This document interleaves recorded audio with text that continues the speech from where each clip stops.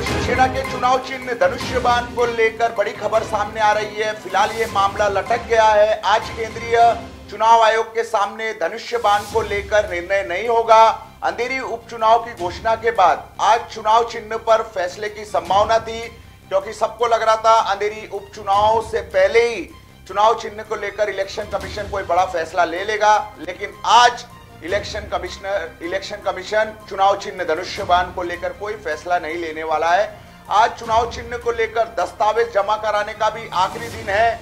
शिंदे गुट ने चुनाव चिन्ह धनुष्यबान देने की मांग की है। वहीं ठाकरे गुट के नेता भी आज दस्तावेज़ जमा कराने के लिए दिल्ली पहुँचे हैं। अनिल देसाई ठाकरे गुट की तरफ़ से दस्तावेज़ लेकर दिल्ली में केंद्रीय चुनाव आयोग के दफ्तर पहुँचे हैं और उन्होंने विश्वास जताया है कि चुनाव चिन्ह हमारे पास ही रहेगा।